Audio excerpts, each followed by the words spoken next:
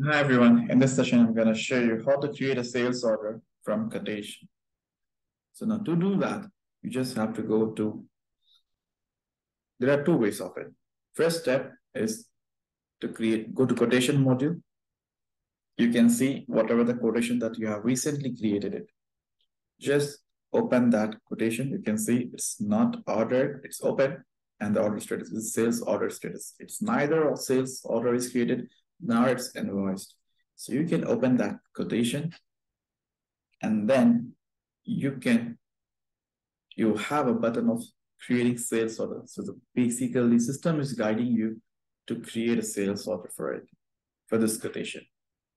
This button will appear provided if the quotation is approved. Click on this button. So once you click on this button, system will guide you to the next screen where it will automatically fill all the information.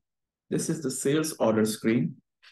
Okay, system has automatically filled the quotation and the customer, the items, unit price, discount, whatever has been entered. You can compare it from here.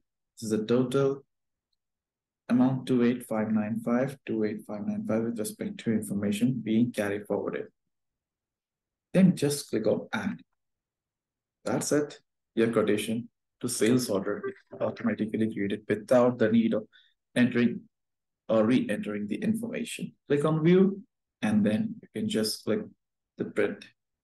That's it. This is an entire layout of your sales order. Thank you.